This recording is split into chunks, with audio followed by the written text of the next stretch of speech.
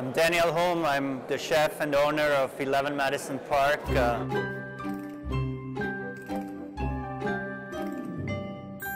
11 Madison Park is a restaurant that's located on Madison Square Park. It's a very special place in the heart of New York.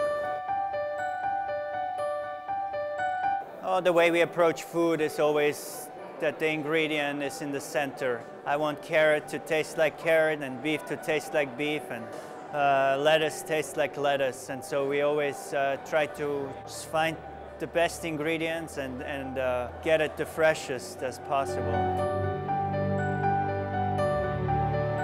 when you look around the world and you look at the great restaurants, I think they're always defined by the place.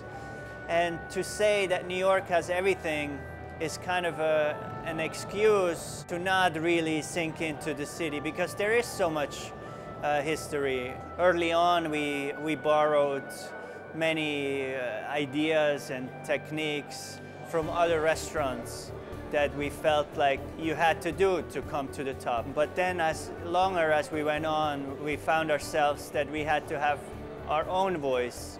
And as we got more confident, we started to kind of break away from what you would expect from a normal uh, fine dining restaurant.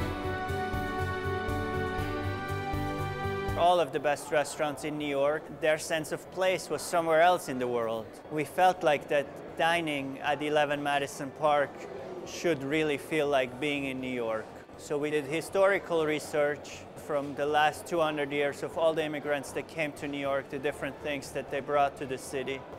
Um, but then we also did research, agricultural research, to see what, what grows the best and uh, what ingredients are, are very unique.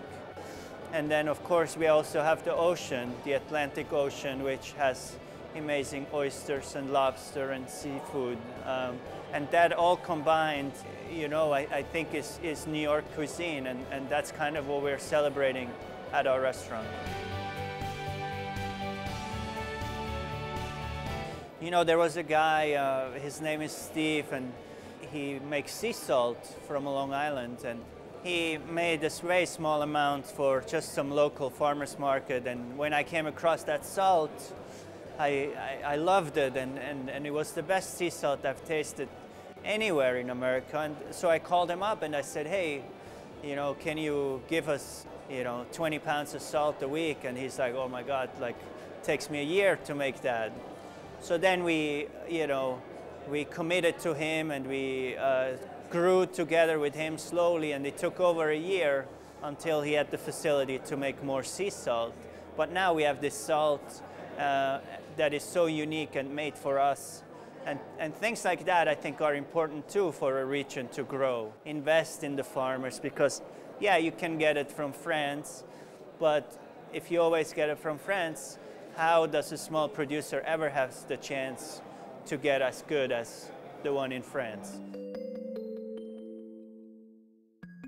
When I go to a restaurant, I, I, want to be uh, entertained a little bit as well. Of course, in the center you have uh, food that is really delicious, but at the same time, if you sit somewhere for three hours, it's also nice to interact. So people reaching out and you touch hands, and I think the more you can bring the people together, the better. And I think it should be fun too. Uh, an experience should be fun. It shouldn't be too serious. I, I, I don't want to take ourselves too serious we take what we do very seriously, but not ourselves, and we want people to have a good time and, and, and have fun.